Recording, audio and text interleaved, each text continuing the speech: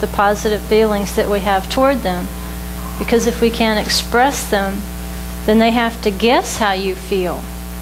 And sometimes our body language sends a different message, or we're so busy that we don't send a message at all, even non-verbally. And every now and then, it's a little harder for men because they're not as verbal as we are. We can, you know, we can just chit chat, and uh, but men have a little bit more trouble, and sometimes you have to put them on the spot to get them to say how they really feel. But when they will express themselves, it's very nice to hear, and you think, "Wow, I didn't know you thought that." Um, it's it's a it's one way that we can express love one toward another. So are you awake now? Or are you going to go back to sleep on me? Some of y'all were up pretty late last night, weren't you? Yes.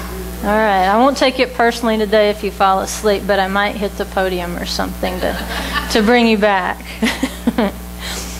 All right. I'm ready if you guys are. We've been going. Okay.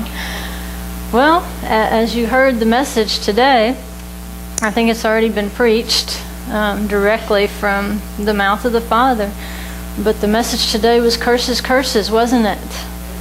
The blessings that they read, it was a very short section, but the curses went on and on and on. And I would like for you to, to know or to understand at least two of the kinds of curses that are in this portion. When you get into this area of Scripture, eventually you're going to hit every type of curse that's mentioned in Hebrew but I've picked out two of them because today the covenant's being renewed. It's the end of the Israelite journey through the wilderness, and now they're ready to cross over, uh, cross over the Yarden, and go into the promised land. But they're being reminded of their covenant. They have a covenant, which is a little bit different than a contract because a contract's more like a business deal.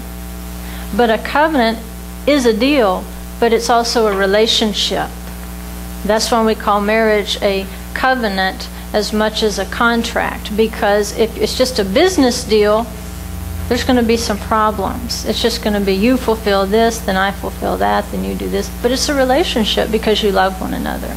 And at the point you cease to love one another, then it's merely a contract. And we see that happen a lot. Um, it's not always easy to keep our covenants. It's not easy to keep our agreements because when we first agree to make a covenant or make an agreement, it's because there's something about that deal that really looks good to us. It sounds good. Yes, I want to do that. Yes, I want to be a part of that. Yes, I would like those benefits in my life. Yeah, I think I can do that. That doesn't sound too hard. But over time, doesn't it get harder and harder and harder to keep our end of the bargain? And it's not as joyful. And after a while, it's not so much fun to fulfill our part of the bargain. And we begin to feel that maybe those benefits weren't everything that we thought they would be. They're not so glamorous. And at some point, it actually becomes work to try to keep our end of the bargain. We just have to drive ourselves and force ourselves to keep our end of the bargain. You know, I remember um, teaching school. You don't teach school because you hate children. You teach school because you enjoy children and you enjoy your subject area, right? And at the first of the year, there's all this anticipation. You want to meet the new students. But after so long, it gets harder and harder to be that enthusiastic because you know them all. You know what they're going to do before they do it. You know what they're going to say before they say it and it gets to be a grind by a certain point. Fortunately, we have little breaks in the year built in to help us refresh and so forth. And if you're really uh, blessed and work for a system where you can take a sabbatical, that's good too. You can refresh yourself.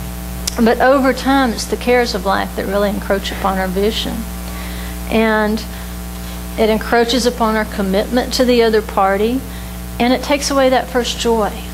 And that's what's sad when you think about when you first really understood what Torah was, and that you saw Yeshua embodied in it then, and you saw that he embodied the Torah, and that it was all one thing, that it was all unified. Remember the joy you had? Remember how excited you were? You had a new toy, didn't you? But over time, it gets harder and harder and harder to maintain that first love, to maintain that first joy. And at some point, it's tempting to let it become a heavy load, to become an obligation, to just go through the motions. And when we get to a point where it begins to feel like that, where we don't have that joy in keeping our end of the bargain and keeping our covenant, we're at a crossroads. And I think one or two things could happen. Number one, we are going to do whatever it takes to renew our joy in Yeshua and we're going to come back and we're going to be stronger than ever. We're going to find fresh oil and we're going to renew our love. Or we have another choice. You get kind of bored with the relationship. What happens in the natural realm when we get a little bored with our partner? Something called adultery, right? We try to spice her up. Well, hope we don't. We don't, but we better not. I better not hear about that. But in this other realm of the world, when we become bored with a commitment or a relationship, maybe even with a friendship, you get bored with a friend, you will go out and you will seek a new friend that's a little spicier, a little more upbeat, a little more interesting.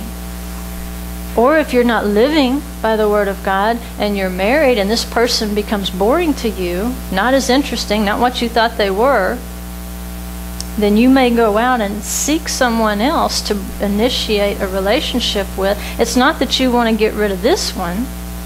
You want that one too because it's comfortable and, and you know, there's that aspect of it. But you want to introduce some new thing to give you a little more spice, to make it fun. And that's what Israel did. They had a husband, they had a covenant, they had a relationship but because it wasn't entered into with joy and gratefulness over time, they became bored with it. Well, this isn't so much fun as we thought it was. Let's go make a golden calf. And we'll say, This is the God that brought us up out of Egypt. And it'll spice it up because, you know, there's all sorts of fun things you can do with a golden calf that you just can't do with the tabernacle. Let's do that. Or when they get into the promised land, oh, this is so routine. Let's go make some Asherah poles and set them up beside the altar of God. That's spicier because they've got all these rituals, you know, with fertility. And it won't be like we're really, you know, committing the sexual sins that our covenant says we should not. It'll actually be a form of worship because, you know, God needs a wife. So let's make Asherah his wife. Let's set up a cohort with him. We're not rejecting God. We're going to introduce someone else into the relationship. You know, that's what adultery means. It means to add another to some already established relationship. It just means to add something else. That's what adultery is. When we become bored with keeping covenant, we are in jeopardy of looking out to the world to try to find someone or something to spice it up for us.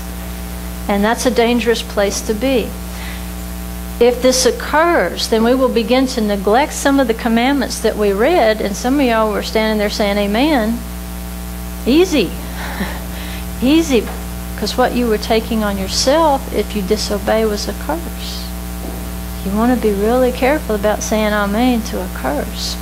Because that realm of living is very uncomfortable, as we heard. It's like you're on the run all the time. I think about with these people running from the hurricane. Good grief, aren't they running seven ways? I mean, they go from here to Texas, and then here it comes into Texas, and we're running again. And I don't know that that has anything to do with this, but that's what Adonai says happens when we don't keep the commitment. We're constantly on the run. We're constantly in chaos. How do we keep from doing that? Well, he says, keep my commandments. That's the difference between the blessing and the curse. And not only that, I want you to keep my commandments, but I want you to be joyful when you do them. And I might be the worst offender at doing a commandment just because I have to, just because that's what he said and forgetting to put the joy into it that rightfully belongs there. Because when you do something over and over, you tend not to think about it anymore. But if you were to reflect on it and think about what a privilege it was to keep that commandment, then you it would restore your joy over it. It becomes rote for us. He says, I want you to be joyful. Once you've made the commitment to the covenant, you did not have to say yes to this covenant. Nobody is forced to say yes. But once you say it, you're committed, and you're in a more precarious spiritual condition than a total heathen that's never heard the word. because they're standing here with the blessing and here with the cursing, and everybody's hearing it. And you know beyond a shadow of a doubt if you live in this realm, you're blessed, and if you live in this realm, you're cursed. And if you live over here knowing what you've heard, then these curses and things sound worse than just total heathens that don't have a clue because you know too much. It's going to hurt worse than if you knew nothing. It'd be like Yeshua with the Pharisees. He said if they didn't understand, that would be one thing. There'd be no sin. But because they say we see and they still pursue their own path, now there's sin. Now there's going to be misery. What people don't know, they don't know. But once you know, and you're sitting right now in a very precarious position because now you know. You just sat here or stood here and listened to the blessings and the cursings. Now you know. There's really only one choice you can make from this point on. Because now you know what will happen if you don't. But you must do it with joy, is what the commandment says. We have to walk with joy.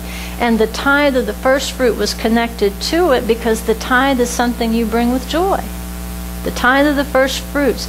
And you not only bring what you have in, the produce, you make a declaration that I have been faithful. If we had to come in here every week and declare before we dropped a coin in the box that I have been completely faithful to your covenant, how many coins would go in the box? That's a strong declaration to make. I have been faithful. I have walked to the best of my ability and been obedient. But this commitment to the covenant is uh, tied to the tithe of the first fruits. And we can go all the way back to the beginning, to Genesis, to Cain and Havel, Cain and Abel, and we see what happens when you don't bring the first fruits. And I'll finish this in a few weeks. When we get back to Bereshit, to Genesis, I will finish this up. But when you don't have the joy of bringing, you will bring less than your best. And that's what Cain did. It says he didn't bring the best that he had. He didn't bring the first fruits of his produce like we were commanded to. It says he just brought of the fruit of the ground. He kept the best for himself. On the other hand, Havel brings the first fruits of his flock. He brings the choicest and brings it in. When you're joyful about it, you'll bring the best you have. When there's no joy, you'll keep it for yourself because you're still looking for the spice, right? Let's spice it up. The two words uh, most often used in, in Scripture for a curse are arar, and you have a handout that shows you how it's transliterated and then how it's spelled in Hebrew. And the curse called the klal or the klala. You might hear it either way. And sometimes they're used interchangeably. I, I looked for a real pattern, and there really isn't one that can distinguish between the two of them. But these two words, I think, will tell you what it means to be cursed. And when you're doing spiritual warfare, and trust me, you know when it's happening to you, it will help you to know what these two words mean. It will help you understand what is happening to you, why you're being assaulted, what the point of the assault is, what the enemy hopes to gain from your making the wrong choice, and what it puts you under once you make the wrong choice. We want to talk about the blessings all the time. Well, today's not about the blessing. Today is about what happens when you make the wrong choice, when it concerns your covenant. The curses can originate either from the earth, the realm of nature, which is cursed, or they can originate from men who also live under a curse. In a natural sense, we all live under a curse of death, the met. Um, we won't cover that today, but death is also a curse. And that was the curse they were promised would come upon them. They weren't necessarily told about the Arar and the Klal. Just when, when he put them in the garden, he says, okay, there's this one thing that you can't have. And if you eat it, you will surely die. That's a curse of death. That's nothing to do with these two things, other than these two things eventually lead to that. So, in a natural sense, we all live in a a curse of physical debilitation and death. The second you were born, you start dying. Right? And in fact, the whole earth lives, there's something called entropy. If you remember your biology class, and it basically says that everything degenerates eventually and it goes away. Even the universe is spreading out, it's going away, it's dying. But on the other hand, this little earth that we live in seems to somehow live in a very delicate stasis. And we talk about things like the ozone and how delicate it is. Yes, it is. It's in a very delicate state that creates conditions for life, even though we live under a curse of death. But I believe what holds it together, I believe even the power that holds the atom together is Yeshua. I don't think we understand completely how that happens, but I believe He is that force. And I derive this from what we read in Colossians, in whom we have the redemption, the forgiveness of sins, and He is the image of the invisible God, the firstborn of all creation. For by Him all things were created, both in the heavens and on earth, visible and invisible, whether thrones or dominions or rulers or authorities. Remember those words, rulers and authorities. All things have been created by him and for him, and he is before all things, in front of all things, and in him all things hold together, even down to the smallest atom. Yeshua holds it together. He's also the head of the body, the congregation, and he is the beginning, the firstborn from the dead, so that he himself might come to have first place in everything. And that's what I want you to remember. Yeshua has first place in everything because that's the position that the Father gave him. Now let's move on to the klal or the klala curse for just a second, and then we'll go back to the arar, and I'll explain to you what that headship means. The klala means to make light of, to diminish, to lessen, to ridicule, to make fun of, not to be taken seriously or to be considered vile. The letters of kalal or klala lead us to believe that it's almost a way of poking at people. Have you ever had somebody that just irritated the daylights out of you? You were under a kalal curse. That's what they were doing. They were poking, poking, poking. And you've had students like that that just poke, poke, poke, poke, drive you nuts. They're not overtly trying to destroy you. It's like being nibbled to death by a duck right? It's that slow drip. That's the klala curse. And you can see that there's two lameds in the klal curse. And remember the, the lamed, you can even tell by the shape of it, it's an ox goad. That's what a lamed is. And they would poke the oxen to get them back on the path or get them back in the straight line as they were plowing the fields. And so if you get off track, you get poked that's what the kalal curse is. You're constantly getting poked and prodded and, and, and so forth.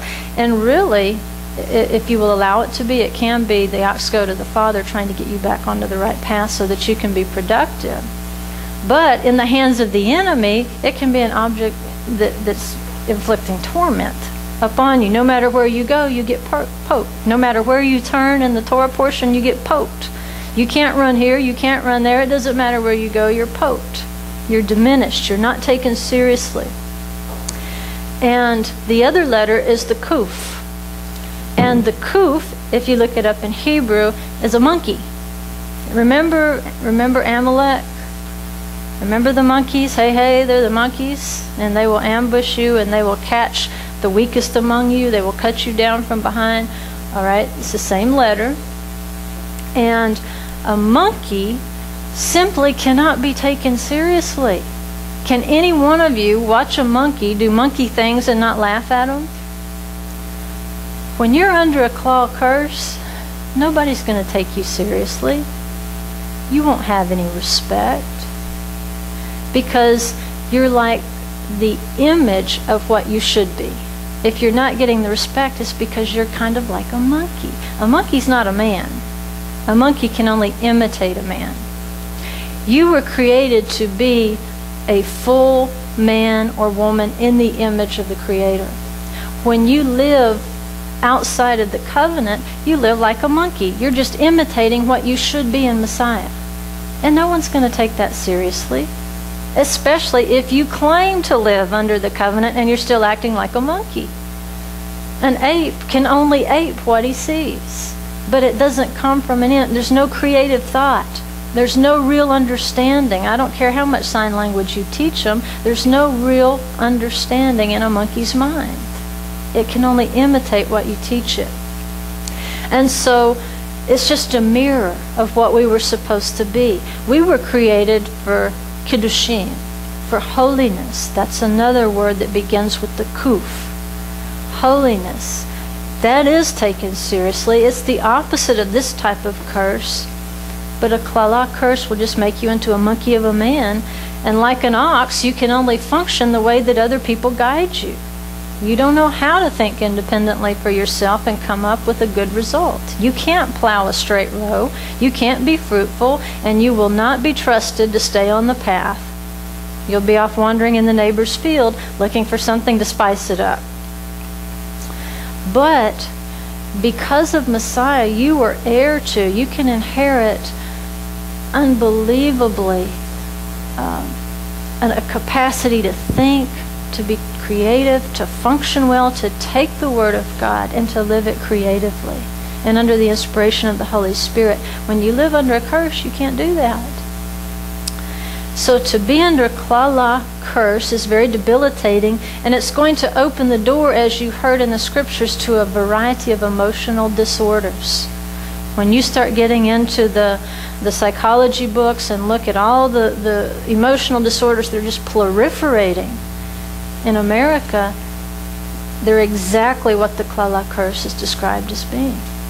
You begin to be schizophrenic. You begin to be all of these things because you're living in a realm of cursing. And the thing about the Klal curse is that we are born with an innate need to belong, to be accepted, to be loved, to know that people value us and respect our opinions and our thoughts. And when you're under this curse, the irony of that is those very things that you as a human being need to feel accepted and loved and respected are the very things that are denied you. That's what it means to be under a klal curse because people are not taking you seriously. You're the monkey. Human beings need to feel as though not as they're being acted upon, but as though they're acting upon other people in cooperation with other people. The klal curse cuts you off from that because then you become the victim over and over and over. Um, the cattle prod, the lamed, will tell you that. But a human being who is not taken seriously will soon develop a whole range of psychological disorders. And the total fear that accompanies it, you can hear in the curses. There's a lot of people that live in constant fear of something. That's part of a curse.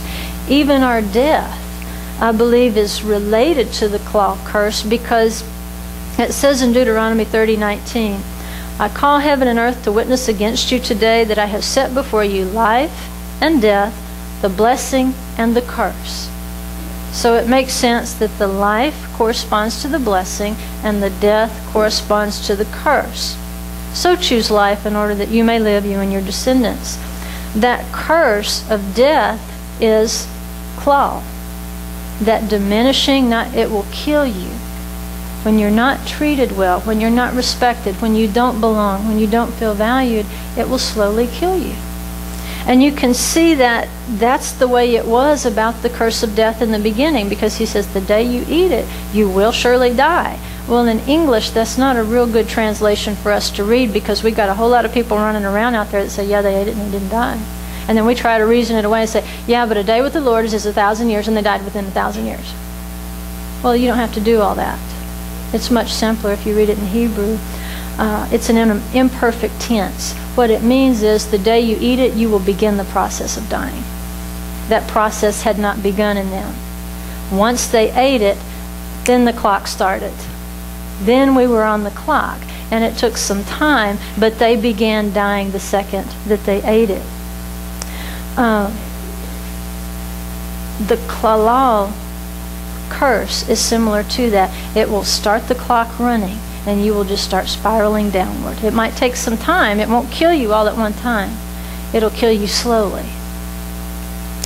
Again, the klal is spelled with two lameds. Lamed implies teaching and instruction. Lomed is learning, right? If you're a Talmid, the root there is the Lamed, you're a learner. So it's associated with learning and teaching. The problem is, There's only room for one teaching in your body. It can only accommodate one and function well, according to the way that you were created to function.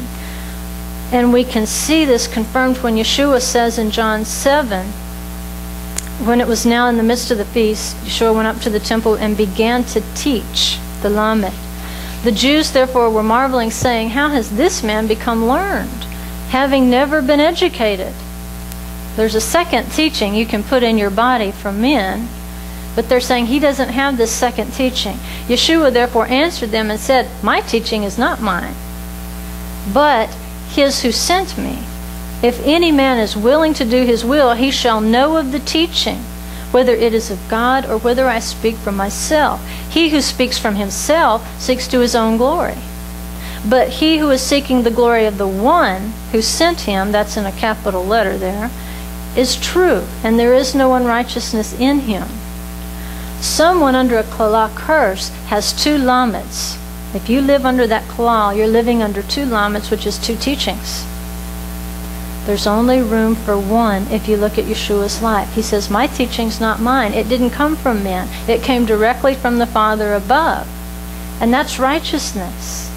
And that's what you heard in the Haftorah portion that righteousness will be in charge of us. When Yeshua is in charge of us in his reign, righteousness is in charge. If there's another teaching that you're living under, you're living under a curse because your body was not designed to accommodate that. It will debilitate you. It will start a process of dying inside of you. Someone under a Kalak curse derives that teaching from two different sources one from the Father above and one from the serpent below.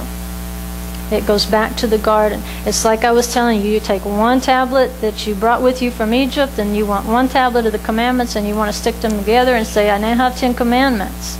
You can't do that. You can't take five from here and five from here. You can't take a little bit of this and a little bit of that. There's only room for one in your life because the mixture brings on the curse. You would be better off to be the total heathen than to know what you know and start mixing it together. Now back to the Arar curse, the headship. Arar is a curse that derives from the ground, the Adamah. Remember, Adam's name comes from Adamah, the earth. And it's a curse under which our whole nature, including nature itself, is in bondage. Even nature is groaning under this curse, the Arar. The animals are included, both clean and unclean. Doesn't matter. As well as the earth and the things that are part of the earth, including the rocks, the plants, the water, the so forth. Animal, vegetable, mineral, it's all cursed. How did this happen? Well, the Lord God said to the serpent, Because you have done this, cursed, Arar, are you more than all cattle, and more than every beast of the field. On your belly you will go, and dust you will eat all the days of your life. Well, all we knew that was coming was death, right? We knew that if we sinned, death was coming. But now we find out, oh, there's more to it. Now the animal kingdom is under a curse. The earth itself is under a curse. And then it goes on in uh, verse 17 of Genesis 3. It says, Then to Adam he said, Because you have listened to the voice of your wife and have eaten from the tree about which I commanded you, saying, You shall not eat from it, cursed is the ground because of you. In toil you will eat of it all the days of your life. I don't think Adam knew that was coming. All he knew was, okay, he said if we eat it, we'll die. He knew that was coming. He did not realize, I don't think, that the very earth underneath his feet, it was all going to be cursed because of his actions. And then his son kills his other son. And Adonai says to him, to Cain, says, Now you are cursed from the ground, which has opened its mouth to receive your brother's blood from your hand. Now, not only is the ground cursed, there's actually a curse coming up from it. He says it, it's the mem, you're, it's going to come up from the ground and you're going to be cursed by it. It's just going to emanate up out of the earth. That's going to affect you. And what that did is it cut off Cain's favored source of food. Whatever you like under this curse, it's going to be cut off from you. Whatever you want the most is the very thing that you will not be able to obtain. Because he kept the first fruits of the produce for himself, now it says it's going to be even harder for you to get that food you enjoy so much. You like vegetables? It's going to be a lot harder for you to get your vegetables out of the ground. And that's the, the irony is when we're under an Arar curse, we're pursuing these things we desire so much, but those will be the very things that elude us time after time. Even the curse of the woman guilty of adultery is an Arar curse from the earth. Because remember, they took the dust of the earth and they mixed it with this water, and she was made to drink it. And if she had lied, if she had been unfaithful to the covenant and then lied about it, then it says it's going to cause some effects on her body. It says, When he's made her to drink the water, it shall come to pass that if she's defiled and has done trespass against her husband, that the water that causes the curse shall enter into her and become bitter, and her belly shall swell, and her thighs shall rot, and the woman shall be a curse among her people. That's an Arar curse. At first, I would have thought it would have been the klal because it's the wasting away of the body, but it's the Arar because it has to do with the headship in the covenant that she's made with her husband. If she has added another head into her covenant relationship, then she falls under the curse of having two heads, which is the Arar. How do we get that? Well, look at the look at the word. It's spelled with resh, resh, aleph, resh, resh. Resh is your head, rosh, right? Well, there's only room for one head. If you have two heads, you're a monster. Imagine yourself with two heads.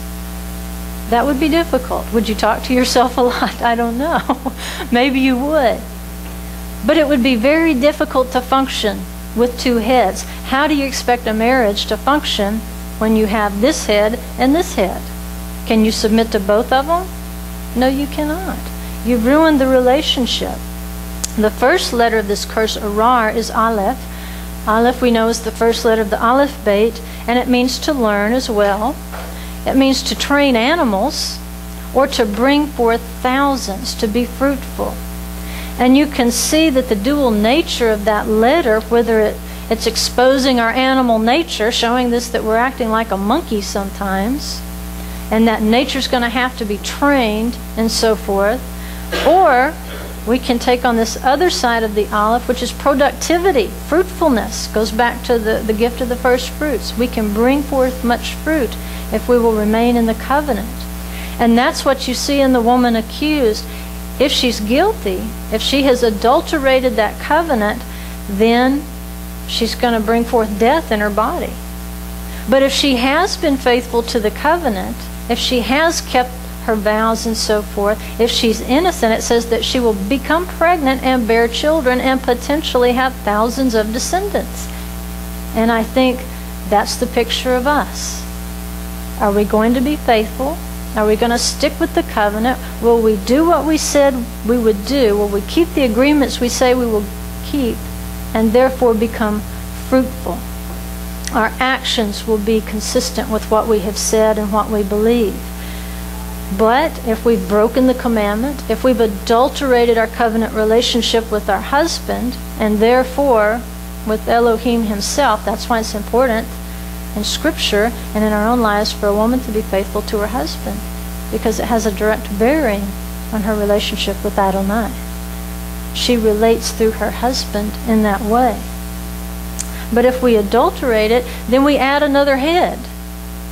And then we have the head of the serpent to deal with we suffer from the curse of the Arar, which is having two heads, two decision makers.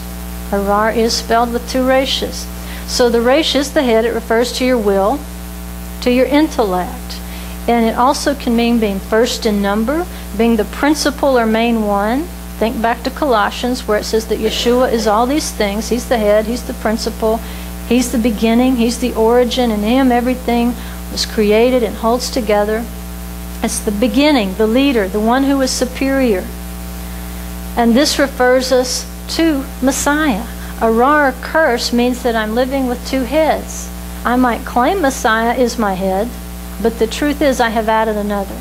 I've listened to the voice of the serpent because there can't be two heads in one body. It says he is the head of the body.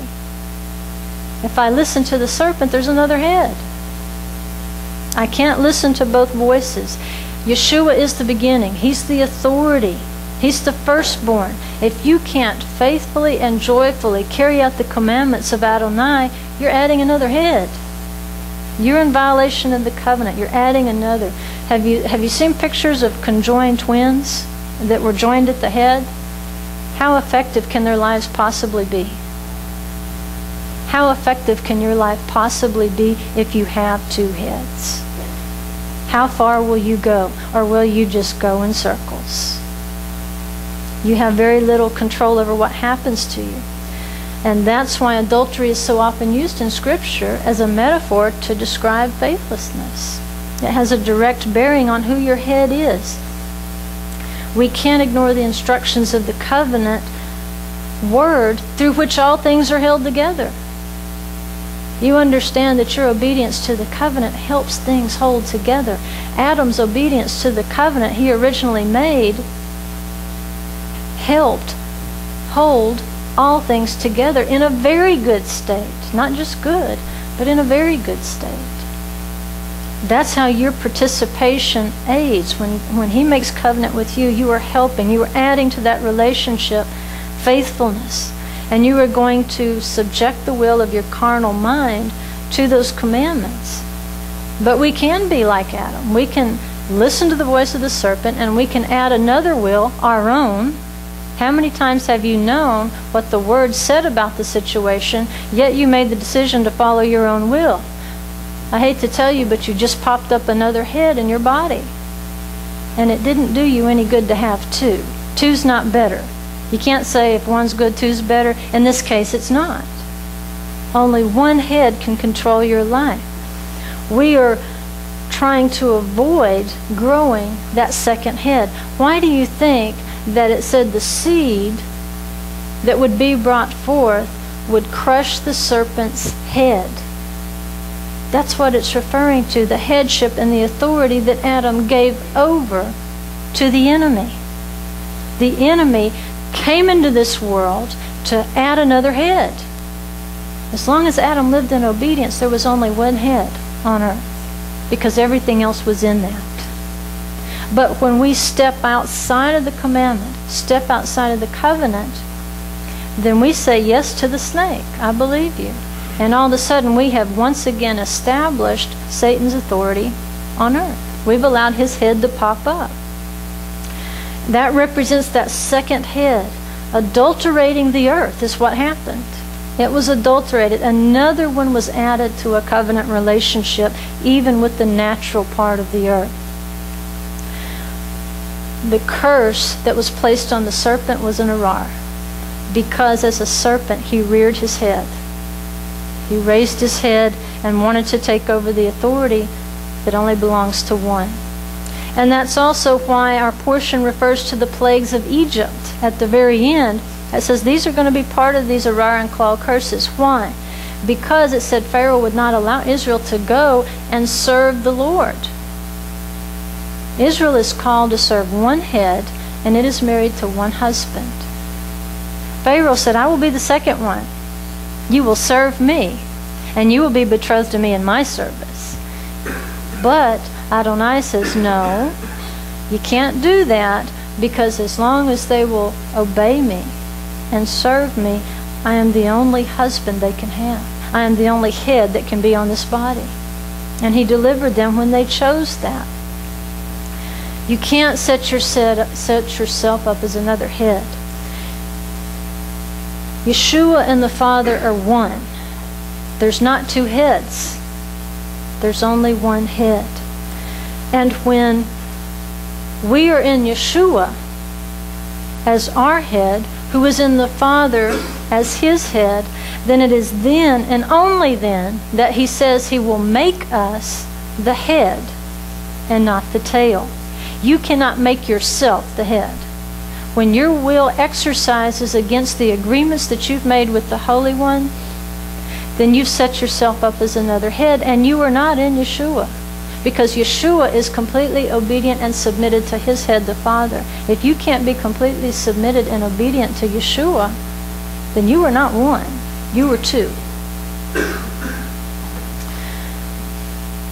And it's only then that you're going to experience the blessings of being made into the head because you're being made into that image. You're not choosing something different. The ground is cursed because of Adam's sin. And that was the Arar curse. And because we are from that ground, we are from the Adamah that is already cursed, then part of our nature is cursed when we are born. We already live under that. So part of the redemption of the Messiah is not just the redemption of our spirit and soul. He will also eventually redeem our bodies from this curse, and he will redeem the earth from the Arar curse that it is under. You think the earth likes living like this? That's why the rocks are going to cry out. They're going to say, hey, dummy, this is the Messiah. He came to fix us back. Please reverence him and make him your head. Forget the serpent. But we continually reject the Messiah and his headship and his authority over us. We reject the covenant relationship. If you'll notice as you're reading the prophets during the Messianic reign, it's only those nations that submit to the headship of the Messiah that are giving the that are given the blessings of productivity through the rain and the productivity of the earth. From them, the curse is removed. But if you will not submit to the headship of the Messiah, it says if they will not go up, then they will get no rain. And the crops will dry up then you stay under the curse. That's the perfect picture of what I'm trying to tell you. If you are obedient and submit to his headship, then there's blessing and there's rain in its season. But if you will not submit, then you will live in constant drought because he is the head. It's also um, the return of the Messiah that's going to cause this cursed earth to give us up. If we've already been laid in the ground, when he returns, as that curse is broken over us, the earth is going to give us up. We will come up from the curse. That part of it still has rain in our bodies. Our bodies will die. There will be decay. We will die. But Messiah will come to redeem us from that second death. And that's something I want you to remember at Yom Teruah. Yom Teruah is coming up soon, the evening of October 3rd. And the feast of Yom Teruah corresponds directly to resurrection from the dead. It's that time of year that you need to think about resurrection. If you were asleep at Yom Teruah, it's almost too late to wake up. Because the day after, you're starting into the days of awe when all this stuff is going to come down and you are not going to be equipped to deal with it. You have had 40 days of repentance up until Yom Teruah to really reflect and get your life together and discern and to evaluate how well you are doing in the covenant so that when you bring your first fruits in at Sukkot, you can lay it down and say, I have brought the best that I could come up with. This is the very best I have to give. But if you've not already prepared for that process and begun to set the first fruits aside before Yom Teruah, you will not have it to bring. You will not know what to do. So when you hear the trumpets blow, there's really not much commanded and associated with Yom Teruah. It's to blow the trumpets, even though the rabbis say it's the shofar. It says trumpets specifically, those silver trumpets. Now you can blow other wind instruments because it is a day of blowing. If you have a wind instrument, by all means, blow that thing. If you have a shofar, blow that thing. I want to hear those silver trumpets on Yom Teruah. I want my joy at its highest peak at Yom Teruah because the day after is too late. That trumpet is blown to call me out of my state of sleep and my state of death.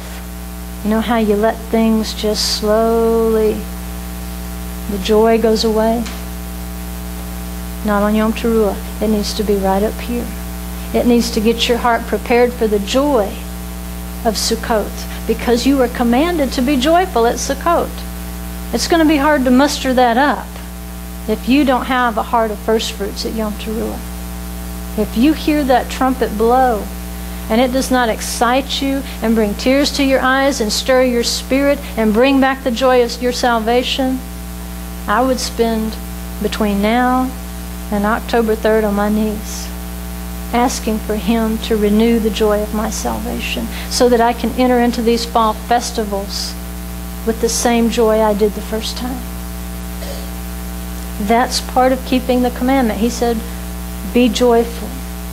It's just as much a commandment to serve Adonai with grateful joy and happiness as it is to honor your father and mother because he said do it with joy and happiness. So he can't make me be happy. He shouldn't have to.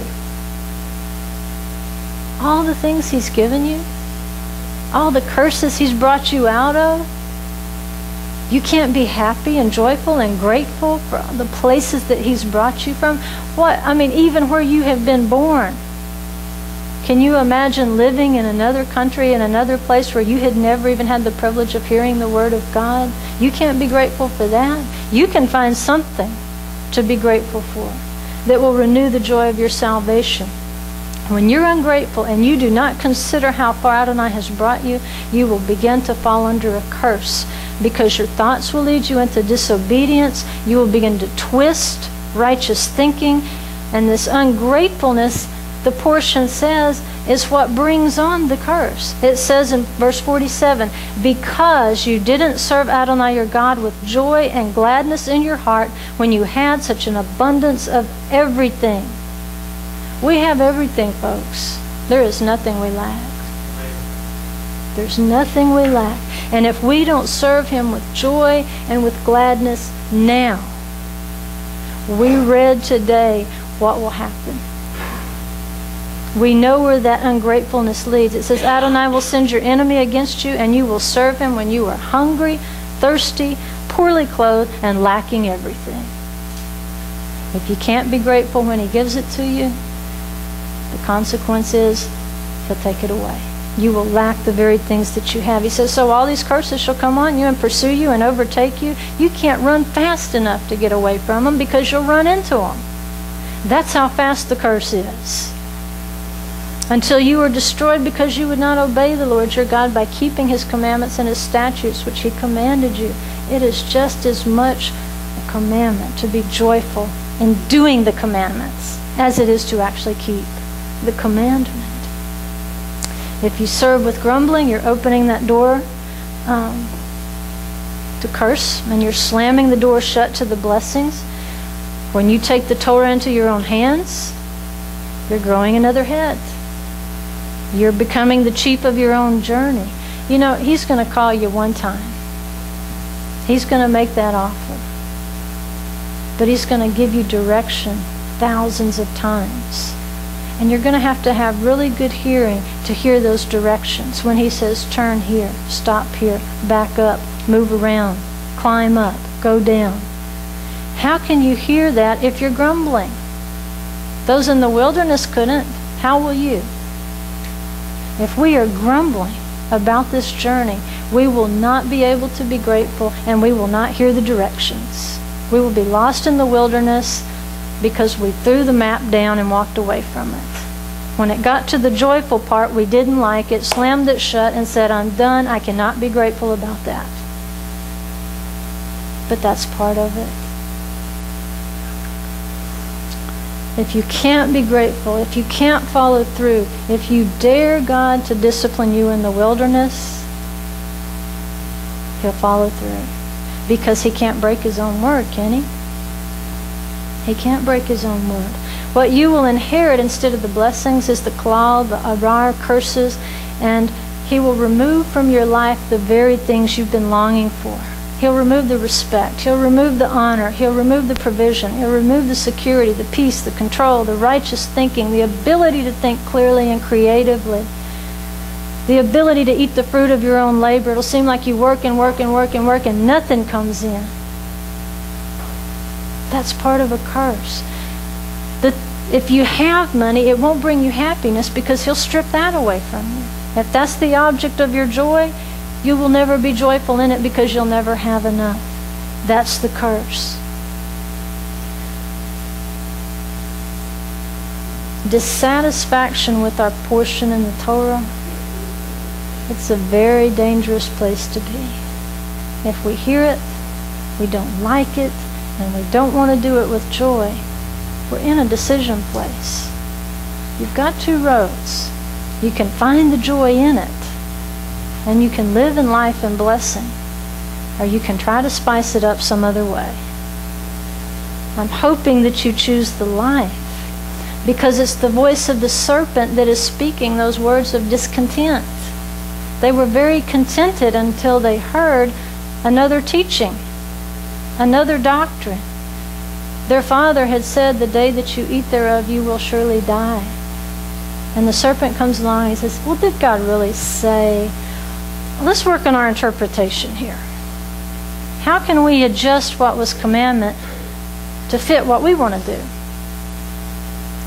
And he grew another head on the earth. You have to give the best of what you have with thankfulness, your true first fruits, because of the one who is the first fruits from the dead. Because he was the first fruits from the dead, you have more reason to bring with joy and gratefulness the first fruits of your labor. If you're not as joyful in the festivals as you were three years ago, you're in danger. You don't know it, maybe, you won't acknowledge it, maybe. You don't want to admit it, maybe. But if you are not as joyful about these festivals coming up as you were three years ago, or five years ago, or ten years ago, you're in a dangerous spot. You have some decisions to make. Because you see, the Torah hasn't changed in five years. The Father in heaven has not changed in five years. Yeshua has not changed in five years. The festivals haven't changed in five years. They're still falling according to the calendar. What changed in the last five years? We changed. We lost our joy. We allowed that joy to be stolen from us. That promise for blessing, if we are joyfully obedient, that's not changed either. All we have to do is change our attitude. When the attitude is done with truth, that's what I read back here. When you're under the one teaching, it says it's the one who is seeking the glory of the Holy One who sent him. He is true, and there is no unrighteousness in him. The true teaching, the true doctrine comes straight from the Torah. That's where it comes from. You have to have the joy in that because that's not changed. It will still bring you blessing if you have the joy. But if you've become ungrateful for the gift of the living Torah, you can't blame it on the woman that God gave you. And you can't blame it on the serpent. You will still have to pay for it yourself. The serpent pays his own price, right? For sin. But you are going to have to pay yours if you listen to it. If you listen to the discontent, there is a price to pay. It says, Because you didn't serve Adonai, your God, with joy and gladness in your heart when you had such an abundance of everything, Adonai will send your enemy against you. You better get happy. Ungratefulness is the beginning of curses, whether it diminishes us, depletes us, makes us a mockery, steals the things we work so hard for you know, we should be a grateful people. Remember the supernatural act of God that brought you out of the belief system you were in and opened your eyes to what the Torah truly is. If you can't be grateful for that, you're in danger. Your spirit should be moved with joy as you prepare your heart for the resurrection. The resurrection of your spirit in the body of Messiah. Release from the curses. Because it says the alternative for being Grateful is that you will be such a miserable person, you can't even sell yourself to a miserable person. You can't give yourself away to a miserable person. I'll be your slave. No, I don't want you. You're more miserable than I am, and I'm miserable. That's what Egypt means. Mitzrayim, misery. If even miserable people don't want you around, you're under a curse. And he says, This is what will happen if you don't keep my commandments with gratefulness and joy. And if you want to know how to find the joy, and you're not sure how, it's like, how do I make myself happy? How do I make myself joyful? Here's what Yeshua says I am the true vine, and my Father is the vine dresser. Every branch in me that does not bear fruit, he takes away. And every branch that bears fruit, he prunes it that it may bear more fruit. You are already clean because of the word which I have spoken to you. Abide in me, and I in you. As the branch cannot bear fruit of itself unless it abides in the vine, so neither can you unless you abide in me. There's one head. I am the vine, you are the branches. He who abides in me and I in him, he bears much fruit, for apart from me, you can do nothing. Gee, didn't he just repeat himself? There's only one head. If anyone does not abide in me, he is thrown away as a branch and dries up, and they gather them and cast them into the fire, and they are burned. If you abide in me and my words abide in you, the one teaching, not the doctrine of the serpent, not the discontent of the serpent, not the twisting of God's word by the serpent, but the one word that Yeshua heard from the Father. If those words abide in you, ask whatever you wish, and it shall be done for you. By this is my Father glorified, that you bear much fruit and so prove to be my disciples. Just as the Father has loved me, I have also loved you. Abide in my love. If you keep my commandments, you will abide in my love, just as I have kept my Father's commandments and abide in his love. Here's the key. These things I have spoken to you, that my joy may be in you, and that your joy may be full. This is my commandment, that you love one another just as I have loved you. If you want to be joyful, love people. He says that your joy may be full. If you're depressed, if you're unhappy, if there's no joy in these commandments, if you're dreading the festivals and already prophesying rotten fruit over them, what does he say do? Love one another that your joy may be made full. You want your joy back? Go love somebody. Doesn't mean you have to agree with everything they say and do. That's not what it means to love someone. Love does not mean agree, even though children think it does. You tell them no, and what they hear is, I hate you. our minds transform no into, you're not loved, you're not valued, you're not accepted, and all these things, and we have to work with people to help them understand no does not mean I don't love you. Sometimes no means I do. Love people. Convey to them good things.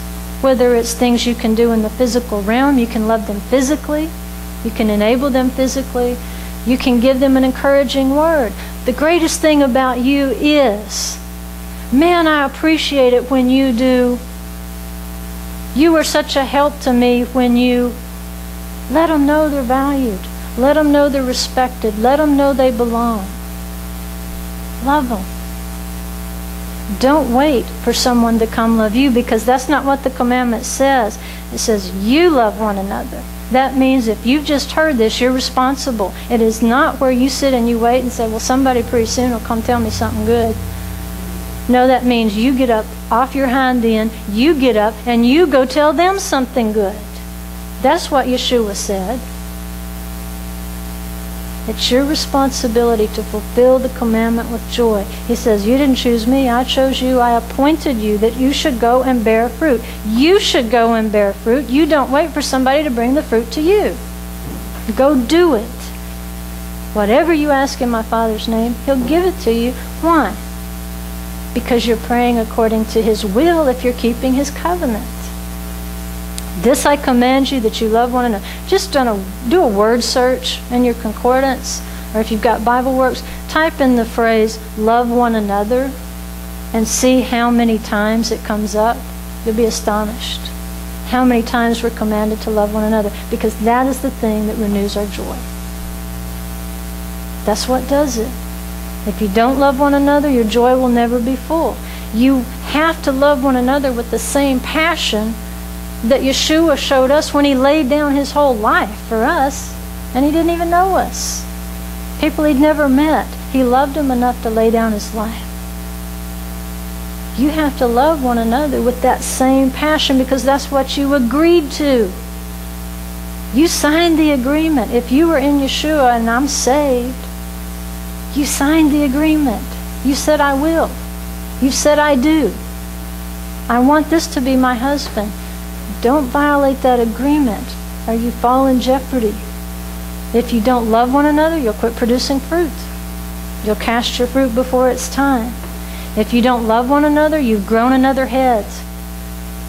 And you've latched on to a second teaching. There's only room for one head in your life and one teaching. That's it. It won't accommodate two.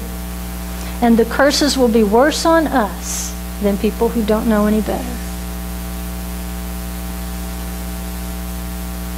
There's no amount of Torah keeping that's going to save you if you don't acknowledge your salvation and do it joyfully and with gratefulness.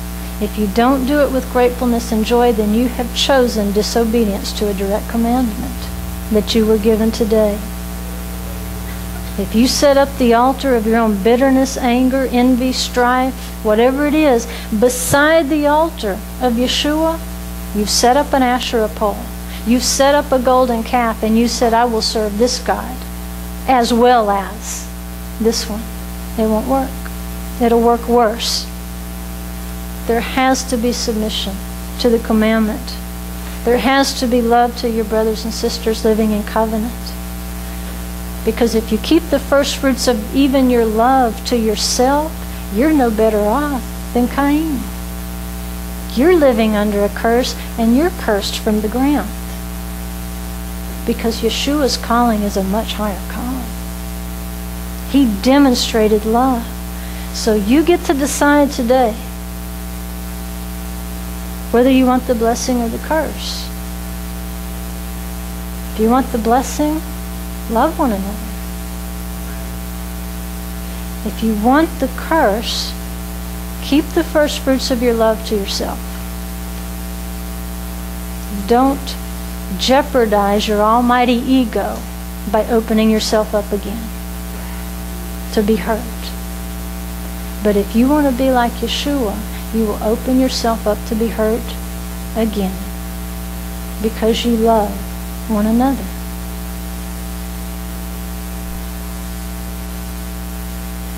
When those trumpets blow at Yom Teruah, you will know what you have chosen.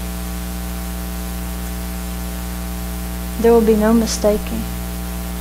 When you hear those trumpets blow, you will know in your heart whether anyone else can see it or not. Each one of you will know what you have decided to do. And so I'm asking you, when you come to that service, come joyfully. Please, come joyfully. Come with a shout. The blowing is equivalent to the shout. Be prepared to shout with joy if you've got an instrument, if you've got a trumpet, if you've got a trombone, a saxophone, whatever you have that will blow, bring it and blow it with joy over the good things, the blessings that are coming down the pike. You see, Israel didn't go out of Egypt with nothing. They went out with silver and gold and their possessions and their sons and their daughters and their old people. Yeah, there will be plagues that we'll have to live with as long as the earth is under the curse. But He will bring us out. If we choose Him and choose His covenant, He will bring us out in a very good condition. Not just good, but very good. Decide before it gets to Yom Teruah that you're ready to be resurrected. You want to hear that awakening blast. Wake up. I'm going to have surgery that morning. And I doubt if I can make it through a service. But if I've got to talk those twins into coming into my front yard Monday night and blowing those trumpets, I want to hear it. I want to hear it more than I want to hear anything else in the world on that day. Because that's the commandment, to hear the trumpet. Hear something today. Hear one thing today. Love one another so that you can have joy when you fulfill these commandments.